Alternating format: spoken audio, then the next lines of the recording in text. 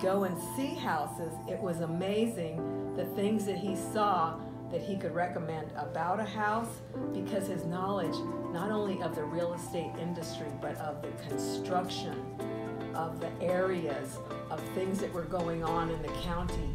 His knowledge is amazing and his experience showed. When we seem to have a little bump in the road or a little glitch he was saying Don't is my worry, job I have it." don't worry i have it the knowledge that he that he had of all the properties we went to. He knew the the intersections that were going to have construction in the future, and just things well beyond property dimensions, and that was really helpful because it, it showed you that he was taking a vested interest in not just the property but the area and looking out for your future with you know investment that he had our best interest at heart and it wasn't about a paycheck at the end for him. know That he wanted to see us through to happiness.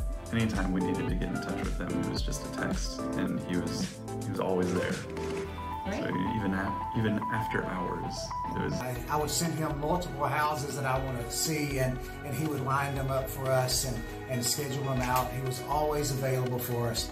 The very first thing that my wife and I noticed is that he had our best interest in mind. When we went to a house, he would actually point out the negative things instead of just trying to sell us on, on a house. lost my first home in the crash and um, the financial crash. I never thought I'd be able to own another home.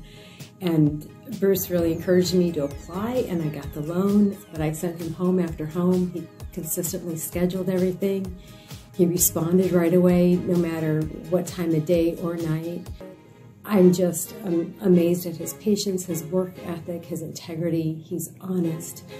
Um, and I'm so grateful. I would never think of going to a different real estate agent ever or going with a different team. Uh, the reason I picked him is all my other houses sold quickly. So my my soul also week. So uh, every every time we needed something, we called, called back. So it, it was a great experience. So we're extremely happy with both